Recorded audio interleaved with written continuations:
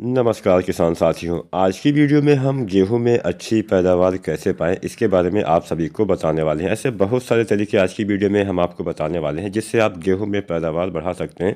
किसान भाइयों, यहाँ पे एक बात का ध्यान आपको अवश्य रखना है कि कोई ऐसा तरीका, कोई ऐसा जादुई तरीका नहीं होता है, जिसको आपने एक बार डाल दिया, गेहूँ में पैदावार दुगनी हो गई। कुछ छोटी छोटी महत्वपूर्ण बातें होती हैं, इन बातों को ध्यान में रखेंगे। अगर आप शुरुआत से ही ध्यान में रखेंगे तो निश्चित ही आप गेहूँ में अच्छी पैदावार ले पाएँगे। तो इसी के बारे में संपूर्ण संपूर्ण जानकारी। हम आज आज की वीडियो में आपको देने वाले हैं। दस तरीके बताएँगे, दस बातें बताएँगे। इन दसों बातों का अगर आप ध्यान रखते हैं तो निश्चित ही आप गेहूँ में अच्छी और बहुत ज़्यादा पैदावार ले पाएँगे। नमस्कार किसान भाइयों एस खेती चैनल पर आप सभी का स्वागत है। सबसे पहले अगर चैनल पर नए हैं तो सब्सक्राइब करके जाइए। क्योंकि चैनल पर अगर सब्सक्राइब करेंगे तो आपको आगे वाली जो आने वाली हमारी वीडियो है, उसका नोटिफिकेशन आसानी से मिल सकेगा, जिससे आने वाली वीडियो भी आप देख पाएँगे। अगर आपका कोई भी सवाल या सुझाव हो, नीचे आप कमेंट भी कर दीजिएगा। तो चलिए ज़्यादा समय ना गवाते हुए वीडियो को स्टार्ट करते हैं जानते हैं कि वो दस तरीके कौन कौन से हैं जिससे हम धान में अच्छी पैदावार बढ़ा सकते हैं। जानते हैं पहला तरीका। पहला तरीका सिंपल सा तरीका है समय पे बुआई करना। अब बहुत सारे लोग बोलेंगे, ये तो हमें पहले से ही पता है कि समय से बुआई करेंगे तभी अच्छी पैदावार मिलेगी। पता भले ही आपको हो, लेकिन अगर आप समय पर बुआई नहीं करेंगे तो आपको पैदावार में कमी आएगी। यहाँ पर मैं आपको बता दूँ, अगेती किस्मों की जो बिजाई है, मान के चलिए बीस से पच्चीस अक्टूबर के बाद में स्टार्ट हो जाती है तो अभी अक्टूबर का समय तो चला ही गया है। फिर भी अभी नवंबर बचा हुआ है, पाँच नवंबर, यानी प्रथम सप्ताह तक अक्टूबर के प्रथम सप्ताह तक आपको इनकी बुआई अवश्य कर देनी चाहिए। अगर आप इनकी बुआई एक सप्ताह के अंदर नहीं करेंगे तो उत्पादन में कमी आ जाएगी। जितना देर से बुआई करेंगे, पैदावार में उतना ही कमी आएगी। इसके बाद में पाँच नवंबर से पच्चीस नवंबर तक आपको समय पर जो किस्में तैयार होती हैं, उनकी बुआई करनी चाहिए। उसके बाद में पिछेती वाली किस्मों की बुआई करनी चाहिए। अगेती अगर आप चाहते हैं कि आपको अच्छी और ज़्यादा पैदावार मिल सके तो यहाँ पर जो किस्में डीबीडब्ल्यू से स्टार्ट होती हैं, ज़्यादातर उनकी अगेती बुआई ही की जाती है, चाहे आपकी तीन सौ तीन, एक सौ सत्तासी ऐसी किस्में हैं, जिनकी अगेती बुआई की जाती है, या फिर नई नई किस्में जो आई हैं डी बी डब्ल्यू तीन सौ सत्ताईस, तीन सौ बत्तीस, इन सभी किस्मों की अगेती बुआई ही की जाती है। तो अगेती बुआई अगर आप समय पर करते हैं, तभी आपको अच्छा पैदावार मिलेगा। ऐसी बहुत सारी किस्में हैं, जिसकी पिछेती बुआई भी की जाती है, लेकिन अगेती बुआई करने वाली किस्मों में अधिक उत्पादन मिलता है, समय पर बुआई करने वाली किस्में, उसमें थोड़ा सा कम उत्पादन मिलता है मतलब अगेती से थोड़ा कम, उसके बाद में जो हम बुआई करते हैं, देर से, उसमें और भी कम उत्पादन मिलता है। तो ये आपको तय करना है कि आप कैसा उत्पादन लेना चाहते हैं, उसी हिसाब से आपको किस्मों का भी चयन करना होता है, उसी हिसाब से आपको बुआई भी करनी होती है। कुल मिला के समय पे बुआई करना बहुत ज़रूरी होता है। अब जो किसान भाई गन्ना लगाते हैं, गन्ना कटाई के बाद ही वो बुआई कर सकते हैं, उनके पास मजबूरी होती है तो उनको जो किस्में देर से तैयार होती हैं, वही किस्में लगानी चाहिए। ऐसे बहुत सारे किसान भाई जो समय पर तैयार होने वाली किस्में फिर अगेती तैयार होने वाली किस्में वो देर से बुआई कर देते हैं, सोचते हैं अच्छा उत्पादन मिलेगा, लेकिन वो किस्म उसके लिए विकसित नहीं की गई है, वो किस्म केवल अगेती बुआई के लिए ही विकसित किया गया है। दो चार दिन का अंतर चल जाएगा, लेकिन एक महीने का अंतर नहीं चल पाएगा। तो इस बात का भी आपको ध्यान रखना है कि समय पे ही आपको बुआई करनी चाहिए।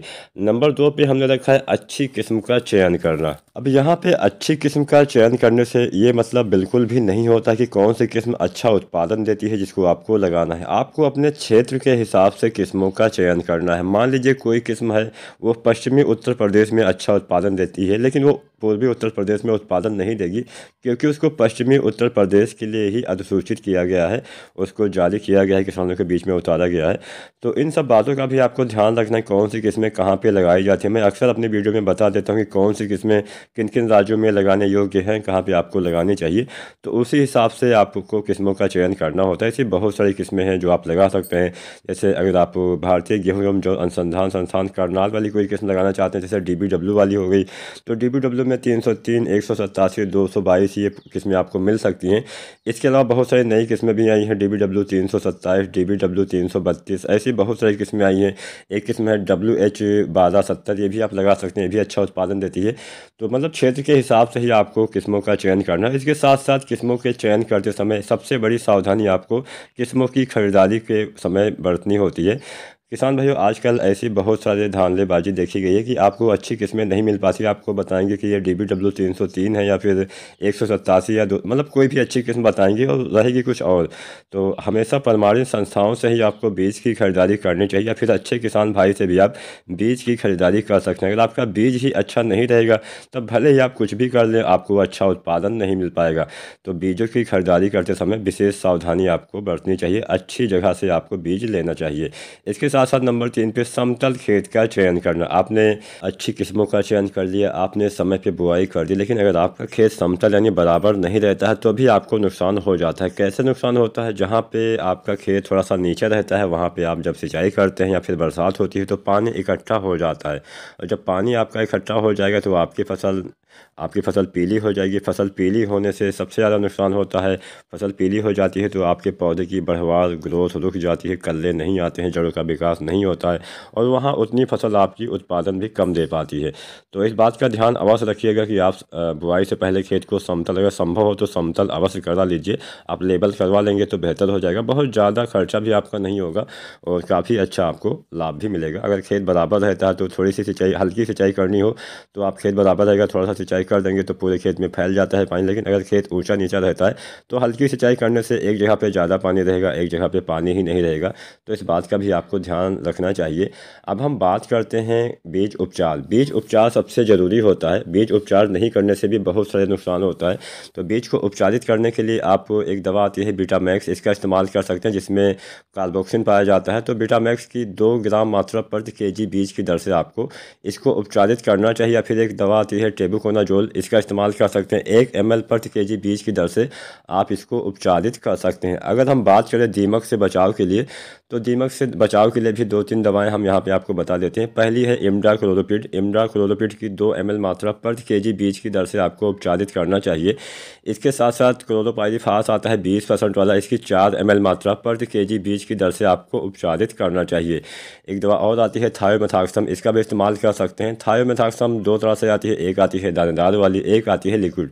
तो दानेदार वाली दो ग्राम प्रति के जी बीज की दर से उपयोग करना है और लिक्विड वाली दो एम प्रति के जी बीज की दर से आपको उपचारित करना चाहिए, जिससे दीमक का अटैक नहीं होगा। शुरुआत में अगर आपके बीज को दीमक खा लेगा तो वहाँ पे जमाव ना होने से आपके पौधे कम रह जाएँगे, पौधे कम रहेंगे, बालियाँ कम आएँगी, बालियाँ कम आएँगी, दाने कम आएँगे, दाने कम आएँगे, उत्पादन में कमी आएगी। तो जब पौधे ही नहीं रहेंगे तो उत्पादन कहाँ से मिल पाएगा? तो आप दीमक से बचाव के लिए शुरुआत में अगर आप इस बात का ध्यान देते हैं तो आपके पौधे का जमाव अच्छे से होगा। sogar कोई भी दाना आपका नुकसान नहीं जाएगा।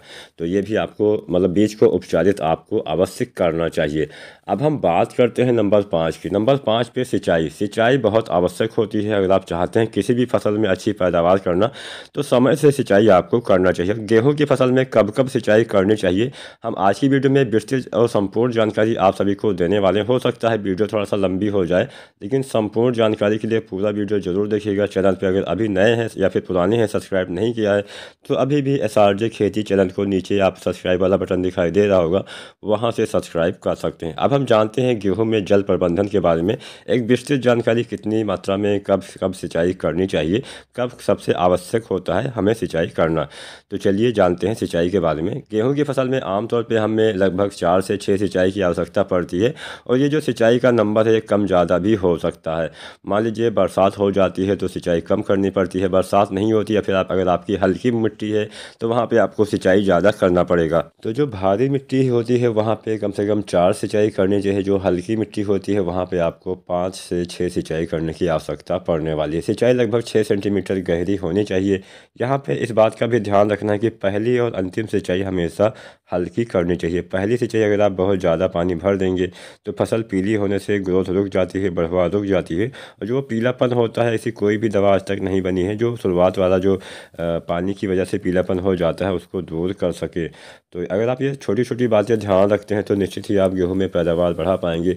ऊसर भूमि या फिर हल्की भूमि में अगर आप सिंचाई करते हैं तो वहाँ पे बहुत ज़्यादा देर तक पानी आपको खड़ा नहीं रखना चाहिए। पंद्रह घंटे या बीस घंटे से ज़्यादा पानी इकट्ठा रहने से आपकी फ़सल गिर भी सकती है, क्योंकि ऊसर या हल्की भूमि में जड़ें सही से मतलब उनका उतना मजबूती नहीं रह जाती, आपकी फ़सल हवा चलने से गिर जाती है।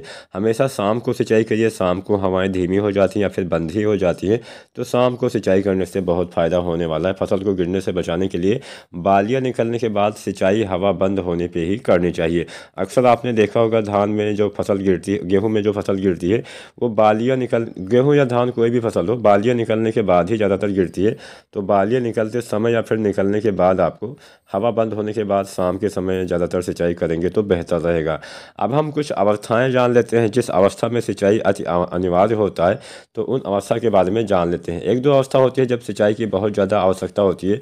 पहली अवस्था होती है छत्रक अवस्था, क्राउन अवस्था, जब जड़ें निकलती हैं। इसके बाद में दूसरी अवस्था होती है बालियाँ निकलने की अवस्था। बालियाँ निकलते समय और छत्रक अवस्था में अगर पानी की कमी हो जाती है तो सबसे ज़्यादा नुकसान होता है। यहाँ पे ऐसा नहीं कि केवल दो अवस्थाएँ होती है पानी की, इसके अलावा भी बहुत सारी अवस्थाएँ होती है, लेकिन हमने यहाँ पे दो सबसे महत्वपूर्ण अवस्थाएँ आपको बताई हैं। इस अवस्था में पानी की कमी सबसे ज़्यादा नुकसान आपको देने वाली है तो इस अवस्था में सिंचाई अवश्य करनी चाहिए। सबसे पहले हम बात करते हैं पहली अवस्था के बारे में। तो पहली अवस्था छत्रक अवस्था, क्राउन अवस्था या फिर जड़ अवस्था बोलते हैं, जिसमें जड़ों का विकास हो रहा होता है। तो ये जो अवस्था आती है, लगभग बीस से पच्चीस दिन पे आ जाती है। इसीलिए किसान साथियों, आपको गेहूँ में पहली सिंचाई आपको आपकी गेहूँ की बुआई के 21 दिन से 25 दिन तक कर देना चाहिए। कुछ किस्मों में आप 30 दिन पे भी कर सकते हैं, लेकिन 20 दिन के बाद 25 दिन 26 दिन 27 दिन तक आपको सिंचाई आवश्यक करनी होती है। अगर आप इस समय सिंचाई नहीं करते हैं तो नुकसान होता है और मान लीजिए सिंचाई बहुत ज़्यादा करते हैं तो भी नुकसान होता है।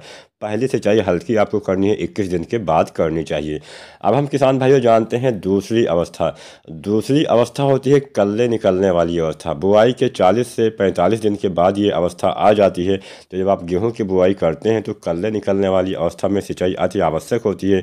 अगर इस अवस्था में नमी की कमी रह जाती है तो ज़्यादा फुटाव नहीं होता है, ज़्यादा कल्ले न बनने से आपकी बालियाँ कमाएँगे, उत्पादन में कमी रह जाएगी। तो इस बात का ध्यान दीजिएगा। चालीस से पैंतालीस दिन पर आपको गेहूँ की फ़सल में दूसरी सिंचाई करनी चाहिए। अब हम किसान साथियों जानते हैं तीसरी अवस्था। तीसरी अवस्था पौध बढ़वार एवं बूट वाली अवस्था होती है। ये अवस्था आती है गेहूँ की बुआई के 60 से पैंसठ दिन के बाद।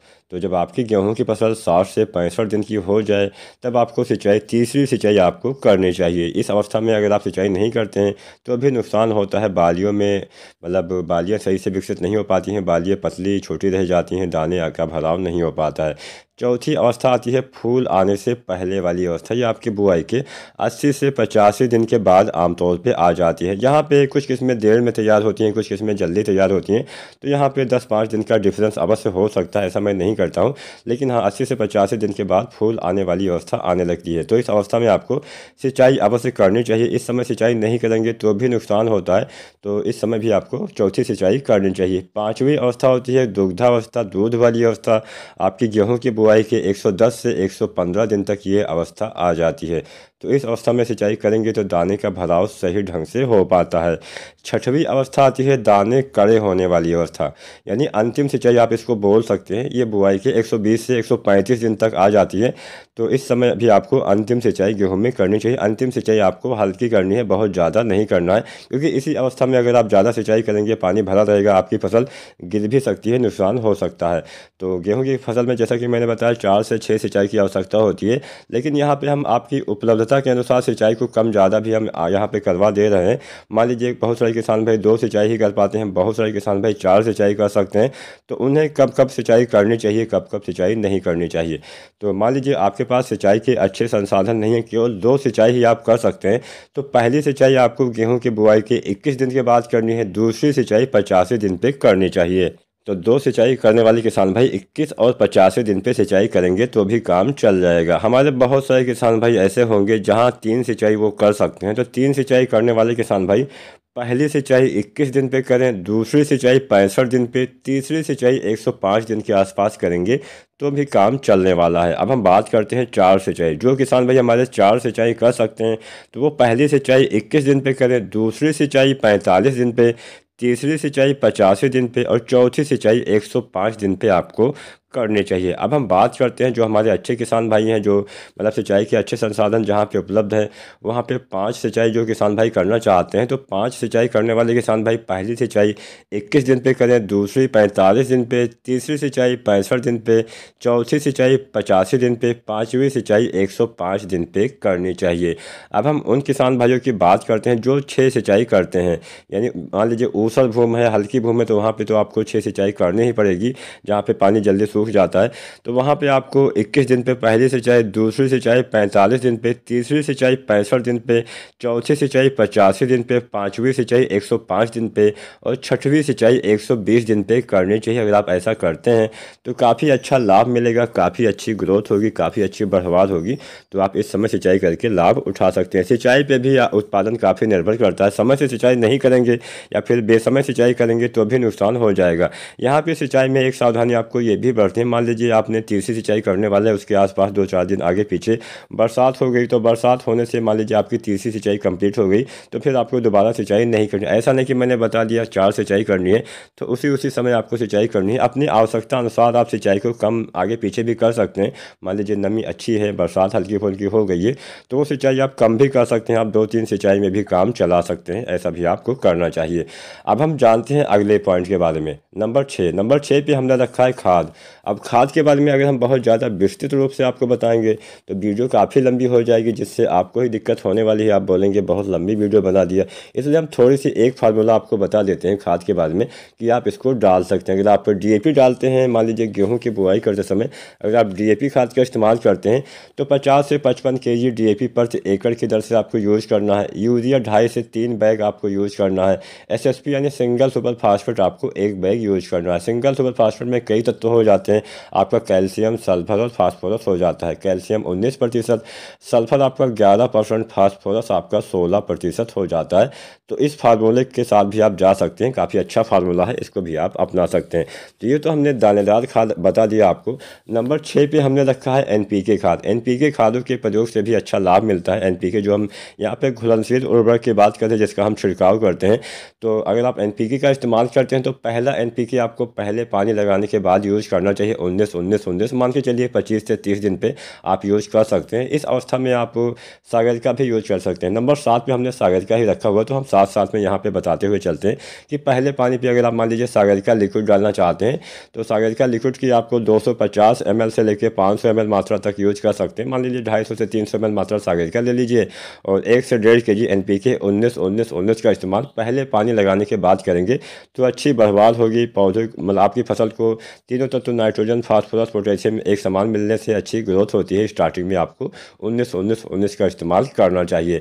अब तीसरे पानी पे जब आप तीसरा पानी लगाते हैं सत्तर से, साठ से सत्तर दिन पे, तब आपको एन पी के जो आता है ज़ीरो बावन चौंतीस इसका प्रयोग करना चाहिए। एन पी के ज़ीरो बावन चौंतीस में बावन प्रतिशत फास्फोरस और चौंतीस प्रतिशत पोटेशियम पाया जाता है। तो अगर आप इसका इस्तेमाल करते हैं साठ से सत्तर दिन पे, यानी बाली आने से पहले ही आमतौर पर इसका इस्तेमाल किया जाता है। यहाँ पे एक बात मैं बताते चलूँ, कुछ किस्में जल्दी तैयार होती हैं, कुछ किस्में देर से तैयार होती है तो आपको समय आगे पीछे अपने किस्म के हिसाब से कर लेना है। कुल मिला के बालियाँ जब तने के अंदर आने लगती हैं, तना थोड़ा सा मोटा होने लगता है, उससे पहले आपको इसका इस्तेमाल करना चाहिए। यानी बालियाँ बनने से पहले इस्तेमाल करेंगे तो बेहतर लाभ मिलेगा। बावन प्रतिशत फास्फोरस बालिया के, बालियों के बढ़वार में हेल्प करता है, बालियों में दानों की संख्या में हेल्प करेगा। चौंतीस प्रतिशत आपका पोटेशियम जो होता है, वो भी बालियाँ आपकी अच्छे से लाता है, दाने अच्छे से भराव हो पाता है, आपका तना भी मज़बूत होता है। तो तीसरे पानी पे जब साठ से सत्तर दिन पे आप तीसरा पानी लगाएँ तो ज़ीरो बावन चौंतीस की एक से डेढ़ के जी मात्रा इस्तेमाल करें। इसके साथ में जो बोरोन आता है तो बोरोन की भी आपको सौ से एक सौ पचास ग्राम मात्रा प्रति एकड़ की दर से यूज़ करना है। ज़ीरो चौंतीस के साथ में आप बोरोन का भी इस्तेमाल कर सकते हैं। इसके साथ में सागर का लिक्विड भी आप डाल सकते हैं। सागर का लिक्विड जो आती है, इसकी भी ढाई सौ से तीन सौ एम मात्रा प्रति एकड़ की दर तक आपको जब आप तीसरा सिंचाई करें, जब आप ज़ीरो बावन चौंतीस डालें, बोरोन डालें, उसी साथ में आप सागर का लिक्विड भी डाल सकते हैं। अच्छा बेनिफिट मिलेगा। यहाँ पे एक हाल मैं बताना भूल गया हूँ। सागर का दानेदार। तो अगर आप सागर का दानेदार का इस्तेमाल करते हैं तो सागर का लिक्विड का इस्तेमाल करने की आवश्यकता नहीं है। सागर का दानेदार को आपको दो बार देना होता है।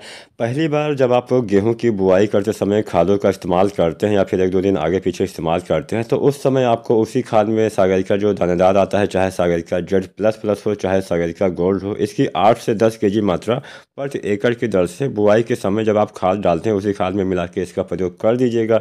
और दूसरी बार फिर से आपको तीस दिन के बाद यानी पहली बार डालने के तीस दिन के बाद फिर से आपको आठ से दस के जी जो दानेदार सागर का आती है, इसका प्रयोग करना चाहिए। बेहतर समय होता है और अगर आपने दानेदार सागर का डाला हुआ है तो सागर का लिक्विड डालने की आवश्यकता नहीं है। अगर आपने सागर का दानेदार नहीं डाला हुआ है तो सागर का लिक्विड का इस्तेमाल आपको करना चाहिए। पहली बार आपको जब पहला आप एन डालते हैं, पहले पानी लगाने के बाद तब करिए, जिससे अच्छे कल्लू का विकास होगा, जड़ों का विकास होगा। इसके बाद में दूसरी बार बालियाँ आने से पहले इस्तेमाल किया जाता है और तीसरी बार बालियाँ निकलने के बाद प्रयोग किया जाता है। फ्लावरिंग की स्टेज से पहले किया जाता है, तब आपको इसका इस्तेमाल से बेहतर लाभ मिल पाएगा। तो आप जैसा चाहें वैसा कर सकते हैं। इसके साथ साथ अगर मान लीजिए कई बार क्या होता है कि हमारे गेहूँ की फ़सल थोड़ा कमज़ोर हो जाती है, मान लीजिए आपकी गेहूँ की फ़सल तीस से चालीस दिन की हो गई है, आपकी फ़सल कमज़ोर है तो उस अवस्था में आपको क्या करना है? उस अवस्था में एक एन आता है बारह इकसठ ज़ीरो, इसका प्रयोग कर सकते हैं। या फिर सत्रह चौवालीस ज़ीरो का भी प्रयोग आप कर सकते हैं। साथ में सागर का भी आपको मिलाना चाहिए, जिससे अच्छा लाभ मिलेगा। तो कमज़ोर फ़सल में बारह इकसठ ज़ीरो या फिर सत्रह चौवालीस ज़ीरो का इस्तेमाल करिए, जिससे अच्छा बेनिफिट मिलेगा। साथ में आपको सागरिका की ढाई सौ से तीन सौ एम मात्रा और एन पी के एक से डेढ़ के जी डालने से बेहतर लाभ मिलता है। कमज़ोर फ़सल में एक नई जान आ जाती है। मान लीजिए कमज़ोर फ़सल है ज़्यादा पीलापन है तो आप डेढ़ से दो के जी जो दानेदार यूरिया आता है, इसका भी मिला के आप घोल बना के इसका भी आप छिड़काव इसी साथ में कर सकते हैं। तो ये हमने जाना एन पी के खाद और सागरिका और खाद के बारे में। अब हम जानते हैं बोरोन। जैसा कि मैंने आपको बताया, बोरोन का प्रयोग आपको तीसरी बार जब आप पानी लगाते हैं, तब करना होता है साठ से सत्तर दिन पे। वैसे बोरोन के तो बहुत सारे बेनिफिट होते हैं। बोरोन से क्या काम होता है? आपकी फ़सल में पोलिनेशन में हेल्प करता है, परागण प्रक्रिया में हेल्प करता है, दाने भरने में।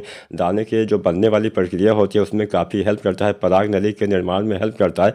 आपकी मिट्टी से सभी पोषक तत्वों को सभी अंगों तक पहुँचाने का कार्य करता है।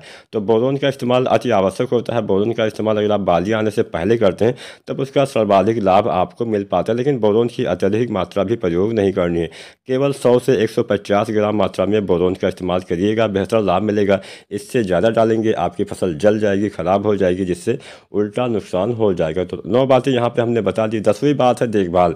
तो देखभाल सबसे आवश्यक होता है, आप अपने खेत में जाएँगे, देखिए क्या बीमारी, क्या रोग लगा है, कि आपके खेत में नमी है या नहीं है, कौन सा चीज़ आपकी फ़सल मांग रही है, उसी हिसाब से आपको उसको देना होता है। तो अगर आप ये सभी देखभाल नहीं कर पाएँगे तो अच्छा उत्पादन कभी भी आप नहीं ले पाएँगे, आपको पता ही नहीं चलेगा आपकी फ़सल को आखिर चाहिए क्या अगर आप खेत में नहीं जाते हैं तो आपको कैसे पता चलेगा कि आपको, आपकी फ़सल को अभी पानी की आवश्यकता है, खाद की आवश्यकता है, कोई रोग, कोई बीमारी लग गया है या नहीं लगा है? तो उम्मीद करते हैं आज की लगभग बीस मिनट की या इक्कीस मिनट की वीडियो में आपको अच्छे से पता चल गया होगा गेहूँ की खेती कैसे की जाती है, बुआई से कटाई तक क्या क्या करना होता है, कैसे हम गेहूँ से आखिर अच्छी पैदावार ले सकते हैं। संपूर्ण वीडियो देखने के लिए आप सभी का फिर से धन्यवाद। अगर चैनल को अभी तक सब्सक्राइब नहीं किया है तो सब्सक्राइब करके बेल आइकन अवश्य दबाइएगा। कोई भी अगर आपका सवाल मन में उठ रहा हो तो नीचे कमेंट के माध्यम से आप अपना सवाल भी हमसे साझा कर सकते हैं। हम आपके सभी सवालों के जवाब अवश्य देंगे। वीडियो देखने के लिए बहुत बहुत धन्यवाद।